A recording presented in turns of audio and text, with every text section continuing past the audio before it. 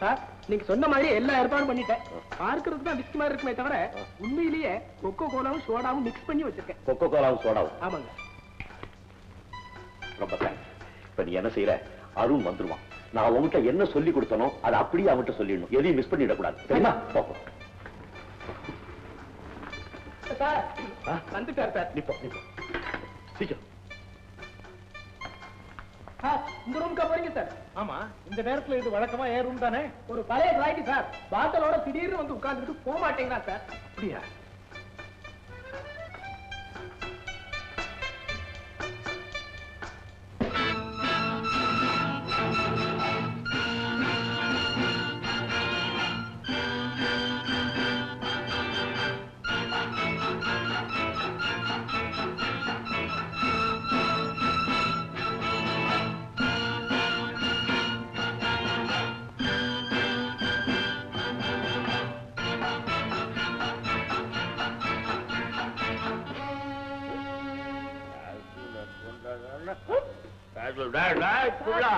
வாடா இங்க போன தடவை என் கூட தண்ணி அடிச்சுல நீ சேர்ந்து.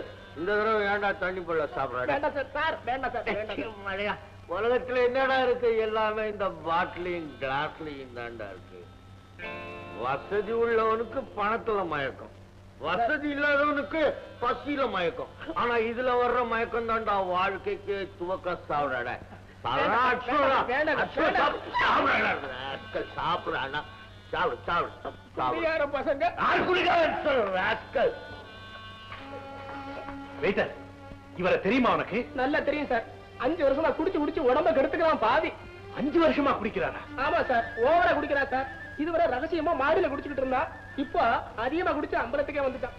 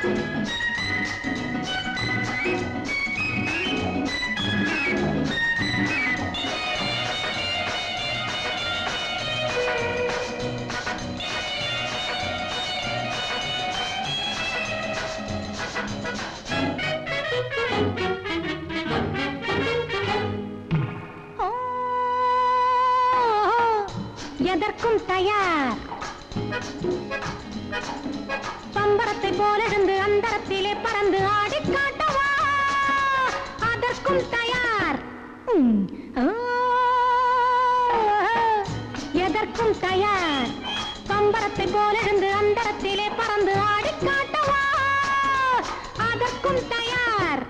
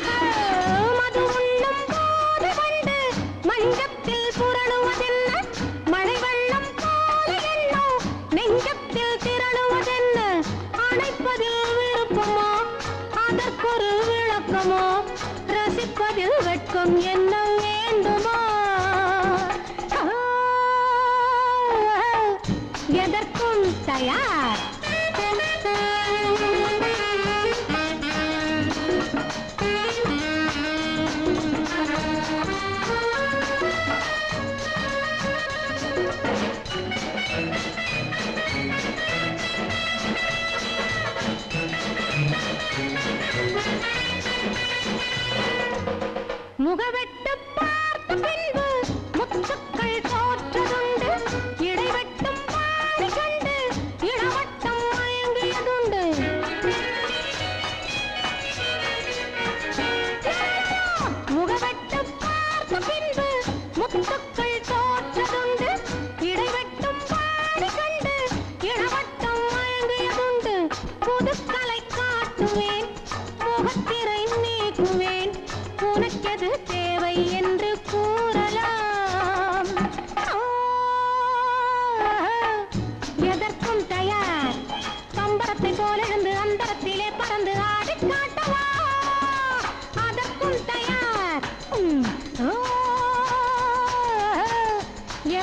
தயார் எதற்கும் தயார் எதற்கும் தயார்.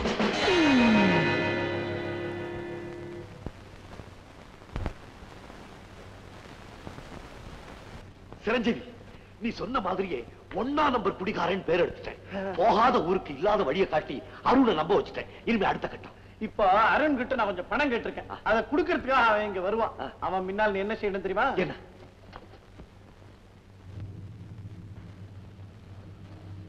நடிக்கிறேன். என் உயிரையே கொடுத்து நடிக்கிறேன்.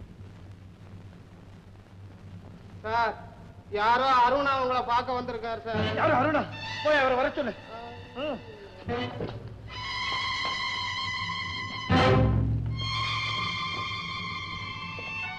என்ன? சிரஞ்சீவி? ஆ, வா, வா, அருண்.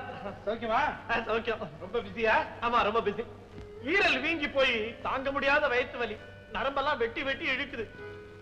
எனக்கு இல்ல உள்ள ஒரு கேஸ். புது கேஸா இருக்கே? இது புது கேஸ் இல்ல மது கேஸ். என்ன சொல்ற? அதெல்லாம் சொன்னா உனக்கு புரியாது. சரி நான் பணம் கேட்டு கொண்டு வந்திருக்கேன். எனக்கு செலவு இருக்குது எடு.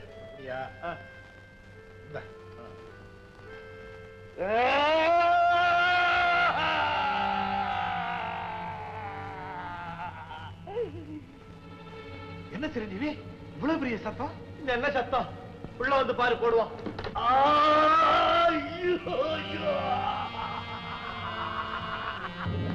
Yeah!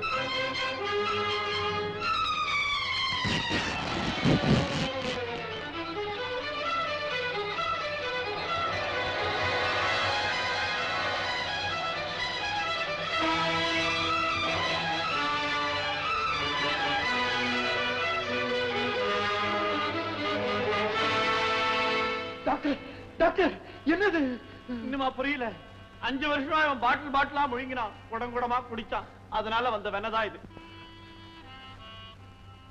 குடிச்சா? இப்படி எல்லாம் ஆகுமா? ஆமா ஆரம்பத்துல சுகமா இருந்த மது இப்ப பயங்கர நோயா மாறிடுச்சு. இனிமே ஆண்டவனால கூட இவனை பிழைக்க வைக்க முடியாது. இன்னும் ஆறு மாசம். அவ்வளவுதான் அவன் ஜாதகம். அந்த ஆறு மாசம் இப்படியே தான். ஒரு டாக்டருங்கிற முறையில சொல்றேன். ஒவ்வொரு குடிகாரனுக்கும் கடைசி நிமிஷ வேதனை இப்படிதான் இருக்கும்.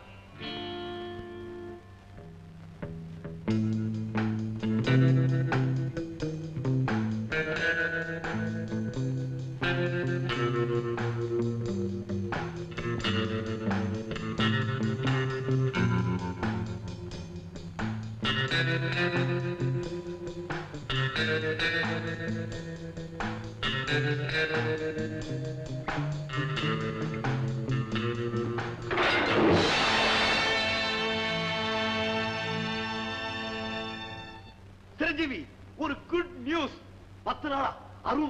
பக்கமே போறதில்ல. நான் பட்டபாடு வீண் போகல. அருண் திருந்திட்டான். இந்த நல்ல சமாச்சாரத்தை உன்கிட்ட சொல்லலாம்னு நினைச்சேன். நீயே வந்துட்ட. உன்னுடைய ஐடியா ரொம்ப பிரமாதம்டா. என்னமோ தெரியல. சில சமயம் நான் கொடுக்கிற ஐடியா கூட நல்லாவே வந்துருது. கண்ணே கண்ணே. ஆமா அருணுக்கு ஏற்பட்டிருக்கிற இந்த மாற்றம் நிலைச்சு நிக்கணுமே. என்ன சொல்ற நீ? பொதுவாவே பழக்கம்ங்கிறது மனுஷனுடைய ஆசைக்கும் சூழ்நிலைக்கும் இடையில இருக்கிற உறவுதான். ஏதாவது ஒரு கோணத்துல அறிவு பலவீனப்படுறப்பதான் கெட்ட பழக்கம் தலை தூக்குது. பலவீனம் தான் இதுக்கு தாய். ஆனா பயம் தான் இதுக்கு மருந்து. பயங்கிற அந்த மருந்து தான் அவருக்கு ஸ்ட்ராங்கா கொடுத்திருக்கமே. இனிமே அவன் குடிய தொடவே மாட்டான். நீ நினைக்கிற தப்பு. பயத்தினுடைய அடிப்படையில் ஏற்பட்ட திருத்தம் நிலைக்கணும்னா அந்த பயமும் நீடிக்கணும். அப்படின்னா? நீ ஒரு குடிகாரன். கூடிய சீக்கிரமே குடி ஒன்ன கொன்னுட போகுதுங்கிற பயத்துலதான் அவன் திருந்திருக்கான். அவனை பயமுறுத்துறதுக்காக தான் நீ நடிச்சிருக்கேங்கிற உண்மை எந்த நிமிஷம் அவனுக்கு தெரியுதோ அந்த நிமிஷமே அவனுக்கு பயம் போயிடும். அவன் மறுபடியும் குடிகாரன் ஆயிடுவான்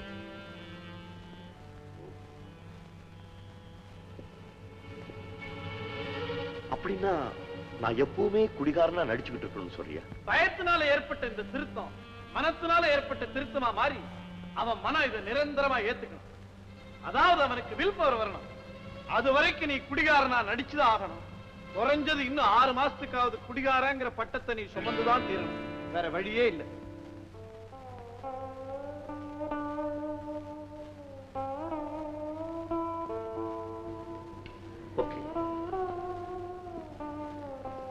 சொந்த ரத்தம் சுகமா இருக்கிறதுக்காக நான் எந்த பத்தியமும் இருக்க தயார்.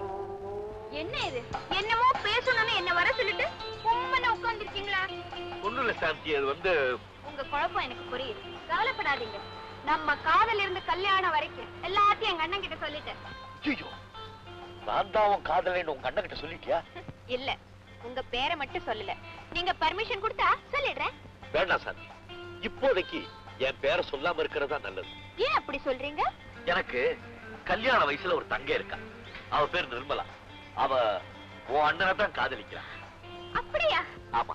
நாம ரெண்டு பேரும் எப்படியோ அப்படியே தான் அவங்களும் முதல்ல அவங்க ரெண்டு பேருடைய கல்யாணத்தை முடிக்கணும். முடிச்சிருவா. ஏ முடிஞ்சு போச்சேன்னு வச்சுங்களேன் நாளைக்கு காலையில நம்ம வீட்டுக்கு மாப்பிள்ளை பாக்குறது வாங்க. மத்ததெல்லாம் நான் கவனிச்சுக்கிறேன்.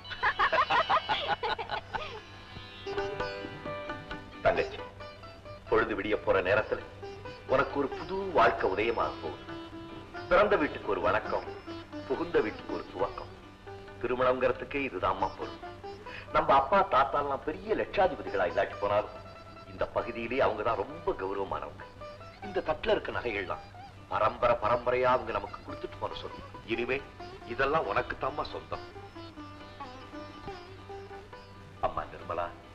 இந்த நகைகளை பார்க்கும் போதெல்லாம் நாம ஒரு கௌரவமான குடும்பத்துல பிறந்தோம் அப்படிங்கிற ஞாபகம் மனசுல இருக்கணும்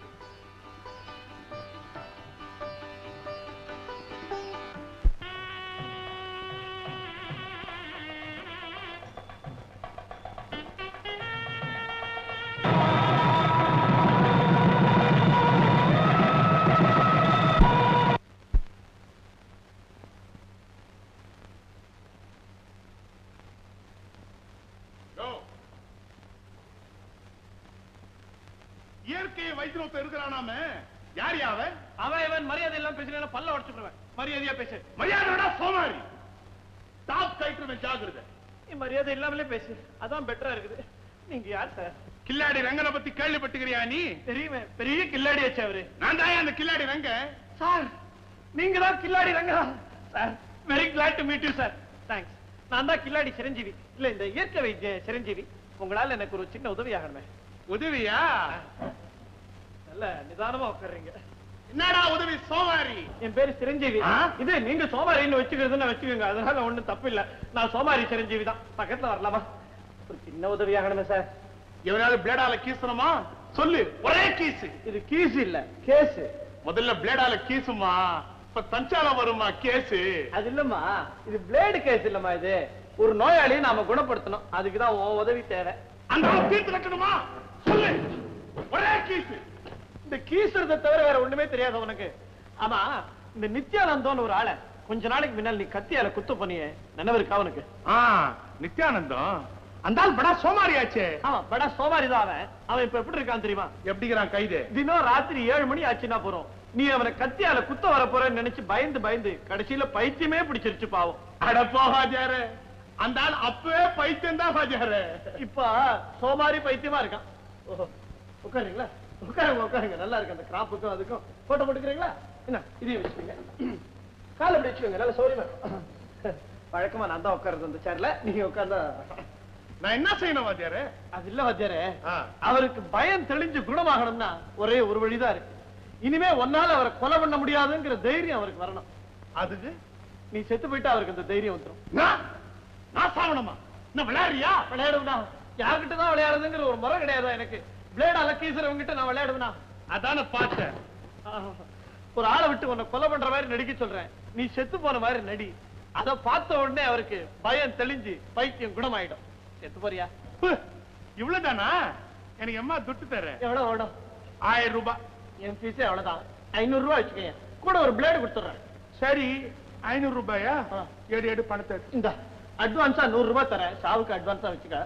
நீ இவ்வளவு நல்லவனா இருப்பேன்னு நான் எதிர்பார்க்கவே இல்லை. நீ மனித தெய்வம்ப்பா. இல்ல கில்லாடி தெய்வம். எனக்கு ஒரே ஒரு ஆசை கேட்கட்டுமா என்ன கண்ணு? கேளு கண்ணு. உன் கிராப்ப ஒரே ஒரு தடவை தொட்டு பாக்குறேன். பிரபு பிரபு உன்னால எனக்கு ஒரு காரியம் ஆகிறேன் என்னடா எனக்கு நீ எவ்வளவோ உதவி செஞ்சிருக்க. உனக்காக நான் எது வேணாலும் செய்ய தயாரா இருக்கேன். என்ன செய்யணும் சொல்லு. நித்யானந்தன் ஒரு பைத்தியம். அவரை குணப்படுத்தணும். அதுக்கு நீ ஒரு கொலை செய்யணும். என்ன விளையாடுறியா? நிஜம் கொலை இல்ல பொய் கொலை. ஓஹோ. கொலை செய்யற மாதிரி நடிக்க சொல்றியா? அப்ப குடிகார மாதிரி நடிச்ச இப்ப கொலகார மாதிரி நடி. வெறும் நடிப்பு தான்டா. டேய் டேய் டேய். மாட்டேன்னு சொல்லுடாரா ப்ளீஸ் டேய் அவனுக்கு அட்வான்ஸ் கூட கொடுத்துட்டேன்டா. டேய் டேய் டேய். வெறும் நடிப்பு தான்டா ப்ளீஸ் ஆல் ரைட் ஆளை காமி கடிச்சு குதறிப்படுறேன். வெரி குட் நல்லா குதிரணும் நிச்சயமே இல்ல. அதுக்கு நான் ஒரு நல்ல ஏற்பாடு பண்ணிட்டேன். அதோ ரவுடி ரங்க கிட்ட பேசிக்கிட்டு இருக்கானே.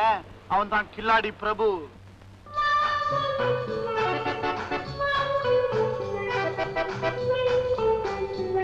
பார்த்தா சாதாரணமா தான் இருக்குது. கில்லாடி மாதிரி தெரியலையே. நீங்க கூட தான் பார்த்தா பெரிய மனுஷன் மாதிரி இருக்கீங்க. நிஜமாவே பெரிய மனுஷனா? பாக்குறதுக்கு அப்படிதான் இருப்பான். ஆனா பயங்கரமானவன். கொலை செய்யறது கூட அஞ்ச மாட்டானே. என் ஃப்ரெண்டு எல்லாம் உங்க ஃப்ரெண்டா ஊர்ல இருக்கிற எல்லா அயோக்கியனும் எனக்கு ஃப்ரெண்டு தான். நீங்க இல்லையா? நமக்குள்ளவே எங்க தகராறு. ஆமா அவங்க என்ன பேசிக்கிறாங்க? இப்ப அவன் ரங்கனால இனிமே உங்களுக்கு எந்த தொந்தரவு இருக்க கூடாதுன்னு கேட்டுக்கிட்டு இருக்கான். அதுக்கு ரங்க சம்மதிக்கல. என்ன ஆகுமோ?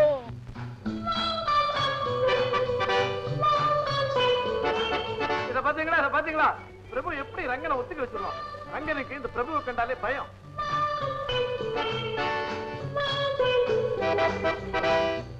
என்ன அவன் ஆளு சட்டையை பிடிக்கிறான் வேட்டியை பிடிச்சா அவுந்துராதா பேச்சுவார்த்தை முறிஞ்சிருச்சு போல் இருக்குது. ஐயோ கத்தி! ரங்க ஒத்து வரலன்னு நினைக்கிறேன். பிரபு கில்லாடி ஆச்ச விட்டுருவான் அவன்?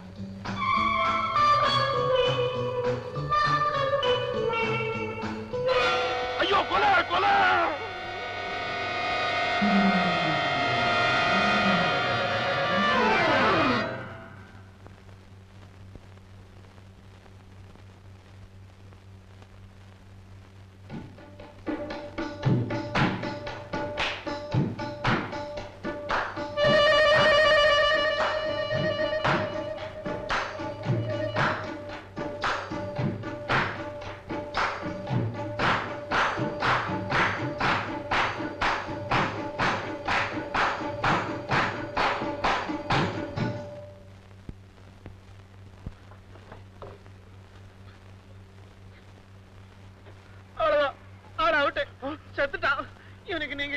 பண்ணிடுறீங்களா? ஊர் பேர் தெரியாதவனுக்கெல்லாம் நான் ஏன்டா கர்மாதி செய்யணும்? கர்மாதி இரியா! ஏன் இப்படி லோ லோன்னு அடிச்சுக்கிற? செத்தவன் யாரு? உன் எதிரி. கொன்னவன் யாரு? உன் ஃப்ரெண்டு தானே. இதெல்லாம் ஏன்? இத்தனை நாள் உங்களை பயமுறுத்திக்கிட்டு இருந்த எதிரி ஒழிஞ்சானா இல்லையா? ஆமா ஒழிஞ்சா தீண்டா அம்பேல். அதோட எனக்கு பிடிச்சிருந்த பிரம்ம இன்னியோட தீந்து போச்சு. பாருங்க. இங்க நடந்த கொலையை நீங்க பார்த்ததா யார்கிட்டயாவது சொன்னீங்க? நீங்க ஒழிஞ்சீங்க அவ்வளவுதான். நீ சுத்த முக்க முடியா இருக்கிறியா ஏன்? இதெல்லாம் வெளிய சொன்னா போலீஸ் ஸ்டேஷனுக்கு வரட்டுன்னு எவையா அலையிறது? உங்களை மாதிரி மேதாவது உண்டா? வாங்க வாங்க வாங்க. பிரபு நம்ம கம்பெனிக்கு மெட்ராஸ்ல ஒரு பிரான்ச் ஓபன் பண்ண போறோமே. அதுக்கு உன்னை மேனேஜரை அப்பாயிண்ட் பண்ணணும்னு நினைக்கிறேன். என்னையா? ஓ சார் இது ரொம்ப பெரிய பதவி. அதனால தான் உன்னை போடுறேன். நாளை காலையில பத்து மணிக்கு இங்க வந்து என்ன பாரு. மெட்ராஸ் ஆபீஸ் சம்பந்தமா உனக்கு சில பாயிண்ட் சொல்றோம். ஓகே மறந்துடாது பாப்பா.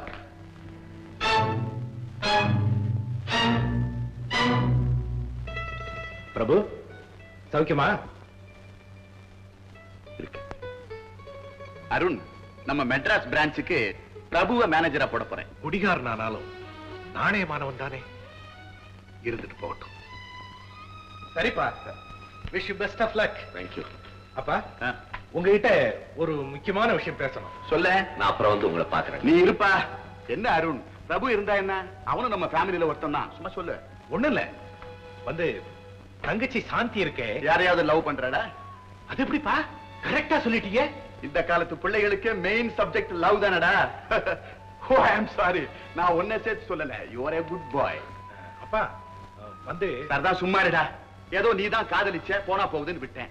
எல்லாருமே அதை ஃபாலோ பண்ண ஆரம்பிச்சா எப்படி? ஏன் நான் சொல்றது சரிதானே? இதுல நான்- என்ன சார் சொல்றது? சரி சரி. யார் அந்த பையன்? அதான்ப்பா தெரியல.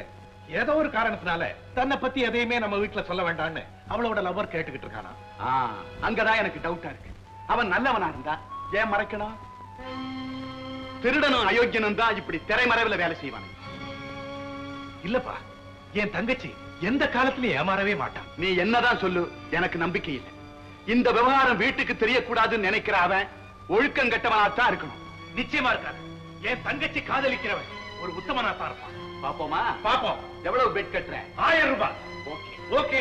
பிரபு இதுக்கு நீதான் மத்தியஸ்தம். ஓ நான் இதுக்கு மத்தியஸ்தவனா? அப்- வேண்டாம் சார்.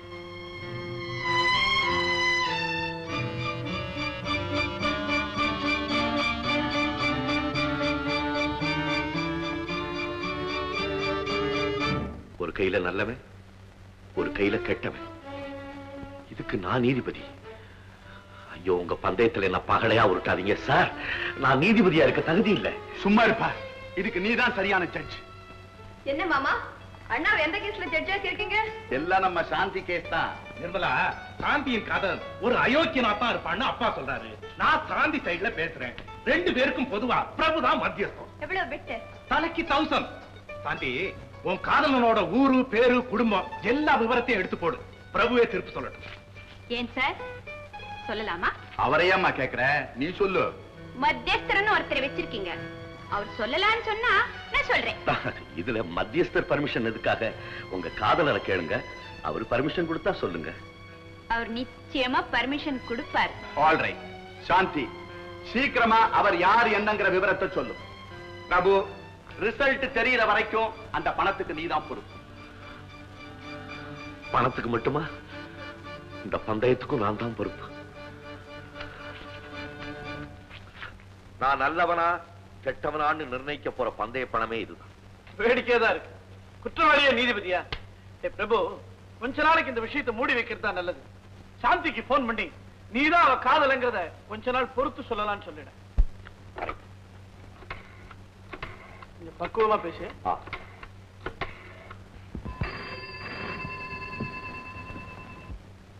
ஹலோ யார் பேசுறது? சாந்தி தானே? நான் பிரபு பேசுறேன். நானே உங்களுக்கு போன் பண்ணணும்னு இருந்தேன். பாத்தீங்களா? நம்ம காதல மூடி மறுத்தனால எவ்வளவு கன்ஃபியூஷன் எங்க அண்ணாவும் அப்பாவும் உங்ககிட்டே பெட் கட்டிட்டாங்க. இப்போ நீங்க சொல்ற பதில வச்சுதான் நான் பேசணும். இப்ப சொல்லுங்க நான் உங்களை தான் காதலிக்கிறேன்னு சொல்லட்டுமா? இல்ல வேண்டாமா? இந்த மாதிரி சாந்தி என் மேல உங்க அப்பா ரொம்ப நல்ல அபிப்பிராயம் வச்சிருக்காரு. நீயும் நானும் நேசிக்கிறது அவருக்கு தெரிஞ்சா என்னை பத்தி அவர் என்ன நினைப்பாருன்னு எனக்கு புரியல. அப்படின்னா?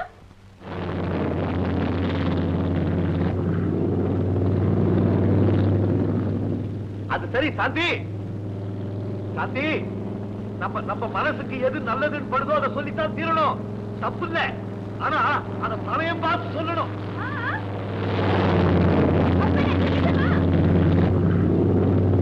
சாந்தி நான் சொல்றதை கேளு கொஞ்ச நாள் போகட்டும் நானே சொல்றேன் அப்புறம் சொல்லலாம் அப்புறம் சொல்லலாம் சொல்லலாம் சொல்லலாமா ஓ வெரி குட் ரொம்ப தேங்க்ஸ் பிரபு எனக்கு ஒரு சந்தேகம். என்ன? நீ இப்ப சொல்லலாம்னு சொன்னியா? சொல்லக்கூடாதுன்னு சொன்னியா? ஏன்டா அப்படி கேக்குற? நீ பேசினது எனக்கே புரியல. மேல பிளைன் போற சத்தம். கீழே நீ டெலிபோன் பேசினா யாருக்கு என்ன புரியும்? ஏற்கனவே நம்ம ஊர் டெலிபோன்லாம் ஒரு மாதிரி. உன் காதுல விழுவலன்னா என்ன? அவ காதுல நல்லா விழுந்திருக்கும் விஷயத்த இப்ப சொல்ல வேணாம். கொஞ்ச நாள் பொறுத்து சொல்லலாம்னு சொன்னேன். அவ வெரி குட்ன்ட்டா என்ன சாந்தி? உங்களுக்குள்ளே சிரிச்சிட்டு வரீங்க? அவரு தன்னை பத்தி சொல்லலான்னு பர்மிஷன் கொடுத்துட்டாரு. கொடுத்துட்டாரா? அப்படிதான் என்கிட்ட சொல்லுங்களேன். அவர் யாரு? சொல்ல மாட்டேன். பந்தயம் கட்டிருக்கோம் இல்லையா? நாளைக்கு எல்லாருக்கும் முன்னால சொல்ல போறேன்.